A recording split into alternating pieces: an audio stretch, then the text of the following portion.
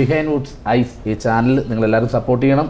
Okay luxury budget ടാസ്കിന്റെ ഭാഗമായി big boss വീട് ഇപ്പോൾ ഒരു കോൾ സെന്റർ ആണ്. മത്സരാർത്ഥികളെ രണ്ടു ടീമായാണ് വിഭജിച്ചിരിക്കുന്നത്. അതിൽ എട്ടു പേരടങ്ങുന്ന ഒരു ടീം കോൾ സെന്റർ ജീവനക്കാരും എട്ടു പേരടങ്ങുന്ന മറ്റൊരു ടീം ഉപഭോക്താക്കളുമാണ്. സോ കോൾ സെന്റർ ജീവനക്കാരും ഉപഭോക്താക്കളും തമ്മിൽ ഫോണിൽ സംസാരിക്കുക എന്നുള്ളതാണ് ടാസ്ക് ഇവർ ഇവരുടെ റിയൽ ക്യാരക്ടേഴ്സ് ആയി തന്നെ ഇതിൽ സംസാരിക്കാം എന്നുള്ള പ്രത്യേകതയും ഈ ടാസ്കിനുണ്ട് സോ മാക്സിമം കോൾ സെന്റർ ജീവനക്കാരും ഉപഭോക്താക്കളും തമ്മിൽ സംസാരിച്ച് ഏറ്റവും കൂടുതൽ സമയം ആര് ആരെ കൊണ്ട് ഫോൺ വെപ്പിക്കുന്നു എന്നതനുസരിച്ചായിരിക്കും ഈ ടാസ്കിന്റെ രീതികളൊക്കെ. എന്തായാലും ഇന്നലെ ടാസ്കിന്റെ ഭാഗമായി രണ്ട് കോൾസ് ആണ് നടന്നത്. ഇതിൽ ആദ്യം നടന്ന കോൾ ഡോക്ടർ രജിത് കുമാറും രേഷ്മയും തമ്മിലുള്ളതായിരുന്നു. ബിഗ് ബോസിൽ രോഷത്തിന്റെ അണ പൊട്ടി ഒലിച്ച ഒരു എപ്പിസോഡായിരുന്നു ഇന്നലത്തേത്. ബിഗ് ബോസ് ഹൗസിലെ വന്നത് മുതൽ അഭിപ്രായങ്ങൾ കൊണ്ടും രീതികൾ കൊണ്ടും ഒന്നിച്ചു പോകാൻ തയ്യാറാകാത്ത രണ്ട് മത്സരാർത്ഥികളാണ് ഡോക്ടർ രജിത് കുമാറും രേഷ്മയും. അതുകൊണ്ട് തന്നെ ഇന്നലെ കോൾ സെന്റർ ജീവനക്കാരിയായി രേഷ്മ വന്നപ്പോൾ ഉപഭോക്താവായി വന്നത് ഡോക്ടർ രജിത് കുമാർ ആയിരുന്നു. ഫോണിൽ രേഷ്മയെ വിളിച്ച് രേഷ്മയുടെ സ്വഭാവ വൈകല്യങ്ങളെ പറ്റി അവരെ കീറി മുറിക്കുന്ന ഡോക്ടർ രജിത് കുമാറിനെയാണ് ഇന്നലത്തെ എപ്പിസോഡിൽ കാണാനായത്.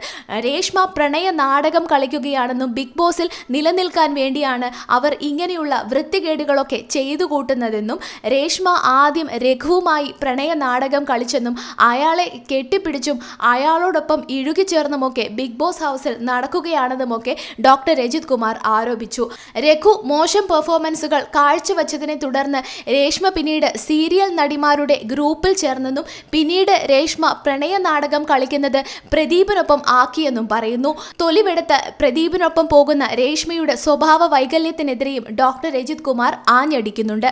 രേഷ്മയ്ക്ക് കുട്ടികളെ ഇഷ്ടമല്ല എന്ന് പറഞ്ഞെന്നും ഒരു പെൺകുട്ടിയായ രേഷ്മ എന്തുകൊണ്ടാണ് തനിക്ക് വിവാഹത്തോടും കുട്ടികളോടും താല്പര്യമില്ല എന്ന് പറയുന്നതെന്നും അത് ശരിയായ ഒരു സ്വഭാവമല്ലെന്നും അങ്ങനെ പറയുന്ന നിങ്ങൾ എങ്ങനെയാണ് ഒരു പെൺകുട്ടിയാവുന്നതെന്നുമൊക്കെയാണ് ഡോക്ടർ രജിത് കുമാർ ആഞ്ഞടിച്ച് ചോദിച്ചത്. അതുമാത്രമല്ല രേഷ്മയെ സംബന്ധിക്കുന്ന ഒരു വലിയ രഹസ്യം താൻ ഇപ്പോൾ ഇവിടെ പറയുകയാണ്. അതിന് രേഷ്മയുടെ അനുവാദമുണ്ടെങ്കിൽ മാത്രം താൻ ഇവിടെ പറയാമെന്നും ഡോക്ടർ രജിത് കുമാർ പറഞ്ഞു. അങ്ങനെ രേഷ്മയുടെ സമ്മതത്തോടു കൂടി തന്നെ ഡോക്ടർ രജിത് കുമാർ ആ രഹസ്യം വെളിപ്പെടുത്തി.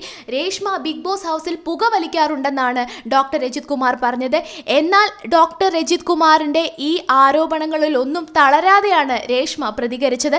താൻ പുക വലിക്കുമെന്നും അത് എല്ലാവർക്കും അറിയുന്ന കാര്യമാണെന്നും താനത് രഹസ്യമായി ചെയ്തിട്ടില്ലെന്നും പുകവലിക്കാനുള്ള അവകാശം തനിക്കുമുണ്ടെന്നും രേഷ്മ പറയുകയുണ്ടായി.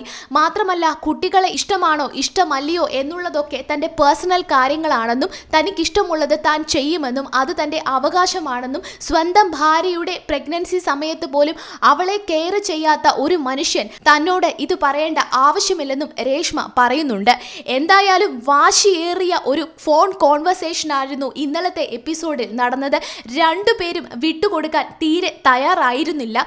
എന്തായാലും ബസർ ശബ്ദം വന്നതിന് ശേഷം ഫോൺ കട്ട് ചെയ്യുകയുണ്ടായി. രണ്ടു ടീമിലെ മത്സരാർത്ഥികളും റിസൾട്ടിനായി ആവേശപൂർവമാണ് കാത്തിരുന്നത്. എന്നാൽ ഇന്നലത്തെ എപ്പിസോഡിൽ വിന്നറായി തീർന്നത് ഡോക്ടർ രജിത് കുമാറിന്റെ ടീമാണ്. കാരണം ഒരു ഉപഭോക്താവിനോട് സംസാരിക്കേണ്ട രീതിയിലല്ല കോൾ സെന്റർ ജീവനക്കാരിയായ രേഷ്മ സംസാരിച്ചതെന്നും അവരുടെ വാക്കുകൾ സഭ്യമല്ലായിരുന്നു എന്നുമാണ് ബിഗ് ബോസ് പറഞ്ഞത്. അങ്ങനെ ഇന്നലെ ഒരു പോയിന്റോടെ ഡോക്ടർ രജിത് കുമാറിന്റെ ടീം വിജയിച്ചിരിക്കുകയായിരുന്നു. എന്തായാലും ബിഗ് ബോസിലെ ഈ ടാസ്ക് മത്സരാർത്ഥികളുടെ വ്യക്തിബന്ധങ്ങളുടെ ആഴങ്ങളിലേക്ക് കടന്നു പോകാനുള്ള ഒരു ഉപാധി കൂടിയാണ് എന്ന് മനസ്സിലാക്കാൻ സാധിക്കും. അങ്ങനെ എന്തായാലും ഡോക്ടർ രജിത് കുമാറും രേഷ്മയുമായുള്ള അംഗം വെട്ടലിൽ ഡോക്ടർ രജിത് കുമാർ വിജയിച്ചിരിക്കുകയാണ്. ബിഗ് ബോസ് വിശേഷങ്ങൾക്കായി സബ്സ്ക്രൈബ് ചെയ്യൂ. Behindwoods Ice.